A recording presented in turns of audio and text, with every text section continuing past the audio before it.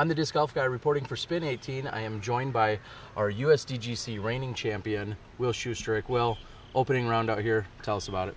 Uh, it's really frustrating for me. I think it's probably the worst round that I've had in maybe the last five years on this course.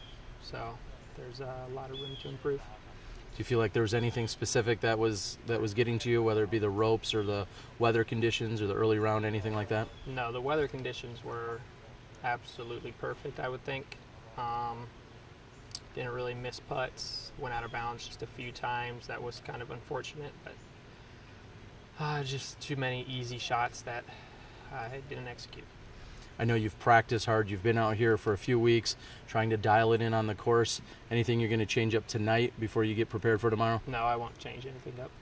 All right, you're just going to reset, come back out, and have a strong tomorrow. Yep.